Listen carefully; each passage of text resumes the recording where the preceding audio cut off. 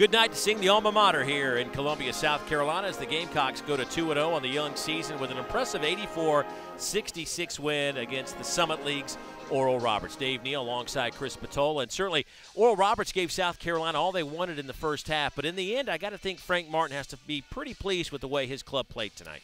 He does. I you have to be. I mean, their seniors came up big for them, especially inside, and you, you've got to embrace your identity. You've got to be self-aware in this game of basketball, and they are a great rebounding team. They have size and athleticism to dominate the glass, and that's what they did tonight.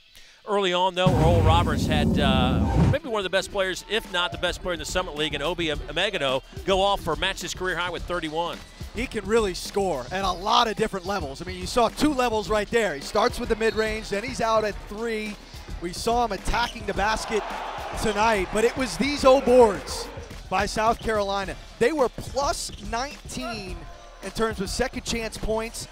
The final score was a plus 18 win for them. That was the tale of the game, Dave. It was a 33 30 game at the break, and then Chatkevicius just started getting off. Career high for the Lithuanian with 27 tonight. Duane Notice from the bench showed that he is still a hot hand. Another big night from behind the arc, but there are the numbers you're talking about as South Carolina just dominated all the big points. They had 44 rebounds on the night, 19 of them offensive, 25 second chance points.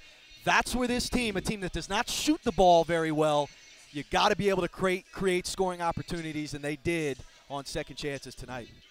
So the Gamecocks go to 2 0. Oral Roberts goes to 1 and 1.